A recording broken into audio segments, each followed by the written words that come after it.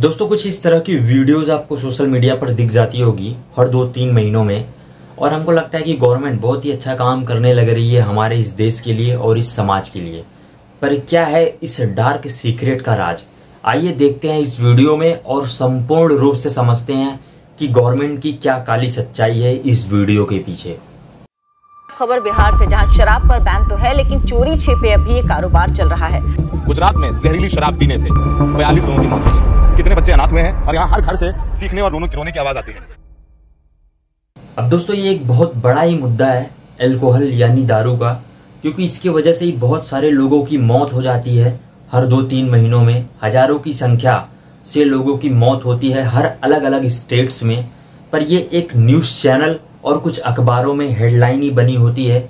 इस चीज़ के बारे में कोई बात नहीं करता है, चाहे वह पुलिस प्रशासन हो या फिर उस स्टेट की गवर्नमेंट हो। और इसी के वजह से बहुत सारी माएँ अपने बेटे को खो देती है, बहुत सारी बहनें अपने भाई को खो देते हैं।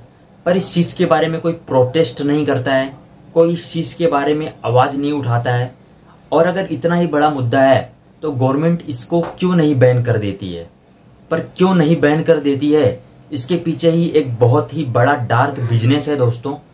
अब दोस्तों अकॉर्डिंग टू इंडियन लॉ के हिसाब से एक लॉ बनाया गया है हर स्टेट में। और उस स्टेट की गवर्नमेंट ये डिसाइड करेगी कि कौन से स्टेट में दारू बैन करना है या फिर नहीं करना है।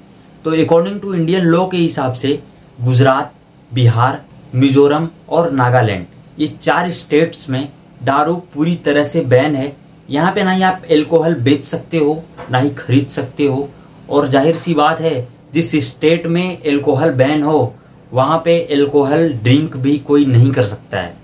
अब दोस्तों, ये चार स्टेट्स को छोड़ के बाकी सारे स्टेट्स में, चाहे वो उत्तर प्रदेश हो, आंध्र प्रदेश हो, हरियाणा हो, या फिर केरला हो, सारे स्टेट्स में एल्कोहल का सेवन किया जा सकता है, पर वहाँ की गवर्नमेंट ने एक नियम लागू किया है उस लॉ के हिसाब से। पर दोस्तों, अगर बात करें पॉइंट ऑफ़ व्यू की तो ऐसे बहुत सारी स्टेट्स हैं, और स्टेट्स में बहुत सारी विलेजेस हैं, जो ये चाहते हैं कि उनके एरिया में बैन हो जाए एल्कोहल पूरी तरह से। महाराष्ट्र के चंद्रपुर जिलों में 5000 महिलाओं ने ये प्रोटेस्ट किया कि हमारे इस एरिया में पूरी तरह से दारू बैन हो जाए। तो वहाँ के गवर्नमेंट ने as per the Maharashtra provision act 1949 के तहत, वहाँ पे एल्कोहल को बैन कर दिया गया, सन 2015 में। सन 2015 में पुलिस प्रशासन को भी थ्रो एनालाइजर टूल भी दिया गया। अब दोस्तों, जिसको पता नहीं होगा कि थ्रो एनालाइजर टूल क्या है तो इससे ये पता लगाया जाता है कि किसी बंदे ने अगर एल्कोहल का सेवन किया हुआ है तो उससे परसेंटेज को पता लगाया जा सकता है कि किस बंदे ने कितना एल्कोहल का सेवन किया हुआ है। सन 2015 में पुलिस प्रशासन द्वारा बहुत ही अच्छा काम किया गया चंद्रपुर जिलों में। दो करोड़ रुपया का माल जब्त किया गया और 500 लोगों की गिरफ्तारी की गई। पर दोस्तों, ये सिलसिला ज़्यादा दिन तक चला नहीं। वहाँ के स्टेट गवर्नमेंट ने वहाँ के डिस्ट्रिक्ट मजिस्ट्रेट यानी जिला परिषद को यह आदेश दिया सन 2020 में कि सन 2015 से सन 2020 में क्या सुधराव हुए हैं इस ज़िले में? उसकी एक रिपोर्ट पब्लिक की जाए तो वहाँ के डिस्ट्रिक्ट मजिस्ट्रेट मार्च सन 2020 को एक रिपोर्ट पब्लिक करते हैं।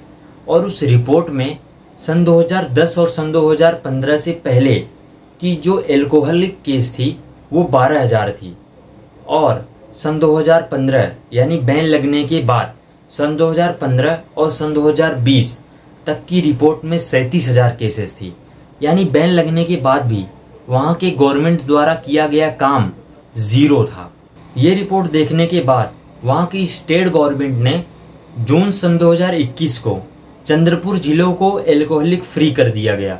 यानी वहाँ पे जो बैन था, वो बैन को हटा दिया गया। स्टेट गवर्नमेंट का ये कहना है कि कुछ पाँच सालों में भी ज़्यादा बदलाव देखने को मिला नहीं है और ज़्यादातर काला बाजारी ही बढ़ी है। कुछ ज़्यादा बदलाव हुए नहीं है और उससे गवर्नमेंट का लॉस हो रहा है। ये कहकर वहाँ पे बैन को हटा दिया गया। पाँच सालों से बैन लगा हुआ था, सन 2015 और सन 2020 से। तो वहाँ की पुलिस क्या कर रही थी? वहाँ पे स्टेट गवर्नमेंट क्या कर रहा था? और वहाँ के जिला मजिस्ट्रेट क्या कर रहे थे? आप दोस्तों ऐसा बोल सकते हो कि ये बस एक टैग था बैन का। एक्चुअल में कुछ काम हुआ नहीं। और अगर काम हुआ होता तो रिज़ल्ट दिखता। क्योंकि हर काम का एक रिज़ल्ट होता है। और अगर रिज़ल्ट ही ना हो तो वो काम का कोई मतलब नहीं होता है। सेम चीज़ दोस्तों, गुजरात में एक मई 1960 से एल्कोहल बैन है, पर दमन जैसे बीच पर और शहर में आप चले आओगे तो वहाँ पे आपको एल्कोहल बिकता हुआ नज़र आएगा। वहाँ पे भी एक बस बैन का टैग लगा हुआ है, पर एक्चुअल में गवर्नमेंट द्वारा कोई काम होता नहीं है, और काला बाजारी ही होती है। गवर्नमेंट को ऊपर दिखाया जाता है कि यहाँ पे कुछ नहीं है, पर नीचे के लेवल में जो पुलिस प्रशासन काम कर रही है जो जिला मजिस्ट्रेट काम कर रहे हैं, सब अंदर ही अंदर पैसा दबा के बैठे हुए हैं। और अगर काम होता तो बैन का टैग नहीं होता, वहाँ पे काम दिखता। सन 2016 से बिहार में एल्कोहल बैन है दोस्तों। आज भी वहाँ पे लोगों की अवैध तरीके से मौत हो रही है, देसी दारू पीने की वजह से। कुछ दो लाख पचपन हज़ार केस दर्ज हुए हैं अभी तक, मामला दर्ज हुआ है। और एक लाख सड़सठ हज़ार लोगों की गिरफ्तारी भी हो चुकी है अभी तक। पर वहाँ की गवर्नमेंट क्या काम कर रही है?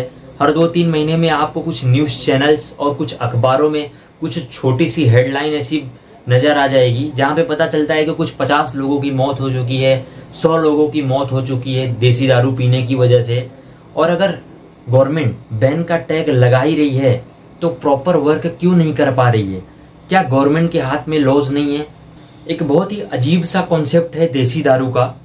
जिसमें बहुत सारे सड़े हुए फ्रूट्स को मिला के और बहुत सारे इथेनॉल मिथेनॉल यूरिया और ऑक्सीटोसिन जैसे केमिकल को मिला के बनाया जाता है। और आज भी इसे विलेजेस में और बहुत सारे सिटीज़ में इसको पीने लग रहे हैं लोग, क्योंकि ये बहुत ही सस्ती दारू मिलती है। कुछ चालीस पचास रुपया का मिल जाता है ये। और लोग उसको पीने लग रहे हैं और जिसकी वजह से उनकी मौत होने लग रही है। पर इसमें भी कोई पुलिस प्रशासन और गवर्नमेंट द्वारा कोई रोक टोक नहीं है। वहीं दोस्तों 8 फरवरी सन 2019 को उत्तराखंड के हरिद्वार ज़िले में देसी दारू पीने की वजह से 16 लोगों की मौत हो गई और सात लोग हॉस्पिटल में हैं। बताया जाता है कि कुछ पार्टी और फ़ंक्शन में गए हुए थे ये लोग और वहाँ पे उनको देसी दारू मिली, जिसकी वजह से ये पीने की वजह से उनकी मौत हो गई। 12 अगस्त सन 2022 को बिहार के छपरा में पाँच लोगों की मौत हो गई देसी दारू पीने की वजह से। और इसके पहले, सात दिन पहले, तेरह लोगों की मौत हुई थी देसी दारू पीने की वजह से। सन 2016 से दारू बैन है बिहार में, लेकिन आज भी वहाँ पे देसी दारू पीने की वजह से लोगों की मौत हो रही है। पुलिस प्रशासन क्या काम कर रही है और वहाँ की गवर्नमेंट क्या काम कर रही है, जाने जा रही है। एक, दो, तीन नहीं, वो भी बीस बीस जाने जा रही है हफ़्ते भर में। 28 जुलाई सन 2022 गुजरात के अहमदाबाद शहर में 42 लोगों की मौत हो गई देसी दारू पीने की वजह से। 100 लोग अस्पताल में हैं। वहीं दोस्तों, अहमदाबाद से 150 किलोमीटर दूर बोटाद के सोजित गाँव में 11 लोगों की मौत हो गई देसी दारू पीने की वजह से। और ये भी केस दर्ज हुआ है कि एक एक फैमिली में दो दो तीन तीन लोगों की मौत एक साथ हुई है। बहुत सारे लोग बेघर हो गए हैं। वहाँ के सरपंच का कहना ये है कि हमने पुलिस प्रशासन और विधायक जी से बहुत बार अपील किया, बहुत बार चिट्ठियाँ भी लिखी और वहाँ पे हमने जाके बहुत बार केस भी दर्ज कराया कि यहाँ पे खुलेआम देसी दारू बिक रही है हमारे गाँव में। पर किसी के द्वारा कोई भी प्रोटेस्ट नहीं किया गया, कोई हमको मदद नहीं मिली और यहाँ तक कि ये हमारा ही मुँह बंद कराना चाहते हैं। पुलिस वाले कोई भी मदद नहीं किए और ना ही कोई एक्शन लिए। सरपंच का ये कहना है। अब देखा जाए तो गुजरात में दारू बैन है। लेकिन फिर भी बयालीस लोगों की मौत हो जा रही है। दोस्तों रिकॉर्ड बहुत बड़े हैं। अगर मैं आपको बताने जाऊँगा तो वीडियो इतनी लंबी बन जाएगी कि रिकॉर्ड खत्म नहीं होंगे। हमेशा कुछ ना कुछ होता रहता है, पर किसी भी गवर्नमेंट के द्वारा इस चीज़ को देखा ही नहीं जा रहा है। आप तक भी ये बातें कुछ न्यूज़ चैनल द्वारा पता चलती होंगी, लेकिन फिर दो तीन दिनों बाद इस चीज़ को दबा दिया जाता है। कुछ अलग ही मुद्दे की बात होने लगती है, पर उनका क्या जिनके घर में ये मातम मनाए जा रही हैं, अब उनके घर को कौन देखेगा? गवर्नमेंट क्या कर रही है? और पुलिस प्रशासन क्या कर रहा है? सामाजिक गतिविधियों को देख रेख करना पुलिस प्रशासन का काम है। लेकिन अगर पुलिस प्रशासन ही लापरवाह हो जाए तो समाज में क्रिमिनल्स ही बनेंगे, और समाज में एक क्रिमिनल ही पैदा होंगे लोग। और इससे सामाजिक आपदाएँ बहुत ज़्यादा ही बढ़ेंगी, क्योंकि अगर लोगों की मौत हो रही है तो ज़ाहिर सी बात है कि पुलिस प्रशासन क्या कर रही है? 26 जनवरी सन 2022 को उत्तर प्रदेश के राय बरेली में देसी दारू पीने की वजह से छह लोगों की मौत। 5 नवंबर सन 2020 में हरियाणा में 20 लोगों की जान गई तीन दिनों के अंदर देसी दारू पीने की वजह से। 15 अक्टूबर सन 2020 एमपी के उज्जैन में देसी दारू पीने की वजह से 15 लोगों की मौत हो गई और 31 जुलाई सन 2020 को हरियाणा में देसी दारू पीने की वजह से 35 लोगों की मौत। 31 जुलाई सन 2020 में पंजाब में देसी दारू पीने की वजह से 38 लोगों की मौत हो गई।